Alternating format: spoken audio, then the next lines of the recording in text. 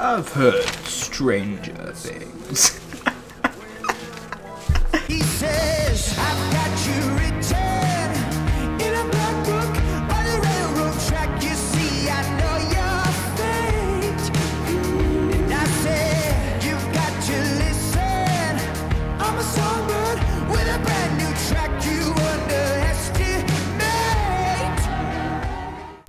Welcome to a new To Be Honest music review. I'm your host Cole, and today we're going to be talking about the new Young the Giant, album, Home, of the Strange. So, Home of the Strange is basically an album about the immigration history of the band and their identity in America. Sort of like a concept album, if you would like to say, I guess. Now, some history with Young the Giant. I have been listening to them ever since their first album really came out, with the song My Body and Apartment and God Made Men being really great songs, in my opinion. And Mind Over Matter, the album, was eh, it was okay, more synth heavy, and I wasn't really into it at the time. And I tried listening to it again. It's eh, it's okay. But going into this nice and fresh, haven't been really listening to Young the Giant for like ever, so here we go. The first track on this album is Amerika, which is based off of a book basically that was never released which is pretty cool. And the song basically is about finding something special in life and why and why people basically use you or why they use him specifically. What I like about this song is mostly the synths and the drums really sound really nice. They clash well together. Just good song. Then you got the more guitar and drum heavy something to believe in. The song is basically a motivational song and basically says that even if people tell you your destiny, that you should do what you believe in and don't let anyone stop you. And I love that. I love that stuff. And that's why I love listening to this song. And also, the vocal delivery is awesome. It's nice and bluesy at times and rocky. It's just, oh, I love it. Then you got the song Elsewhere, which is like an 80s vibe song because it's like on the dance floor.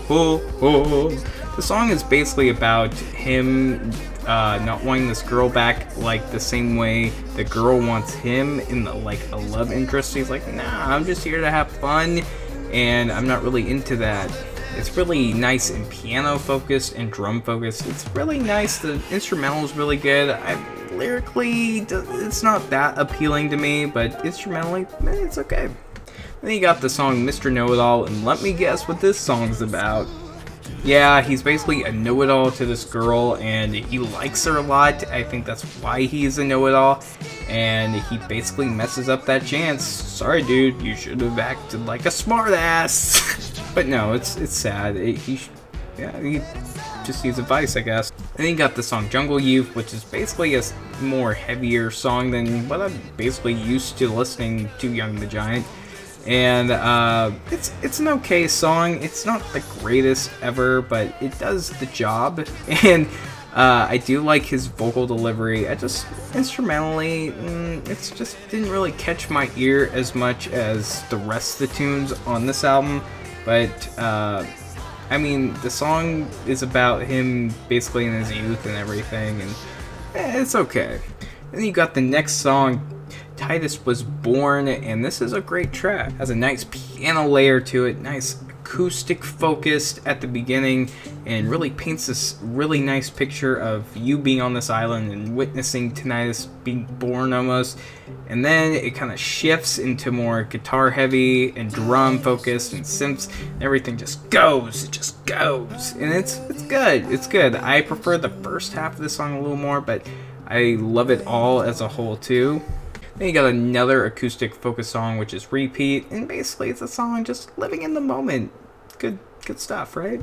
Then you got the song Silver Tongue, which is another favorite of mine. It's really groovy, you should say, with the guitar going.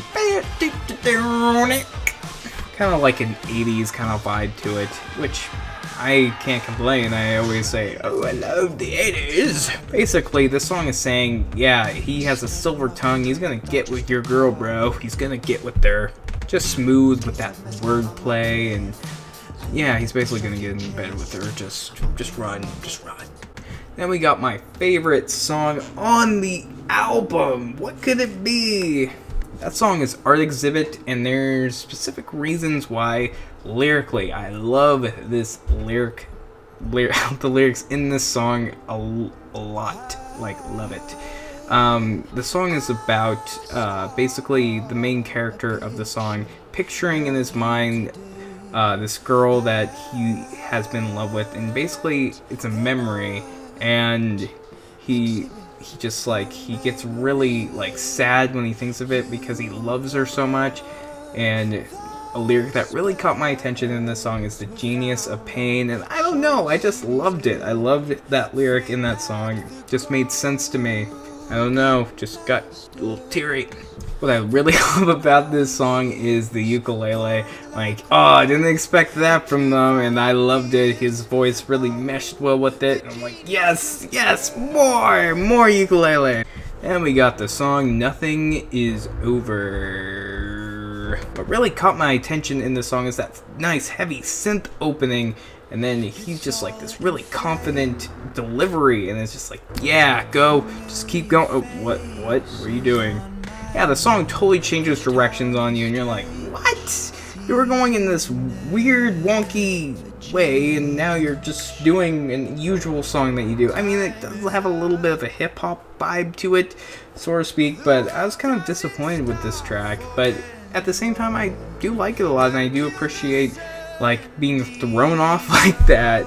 Then we end the album on Home of the Strange, which kind of is a gathering of all the material within the album and like making a song out of it almost. Uh, it's like a two minute song. It's good in its own right, and it's a good closer, I think.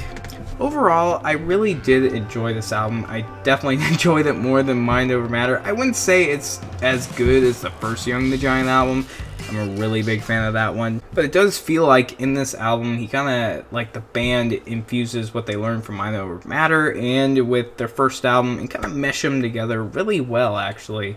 And I give him props for that. So overall, I'd give this album a 4.5 out of 5.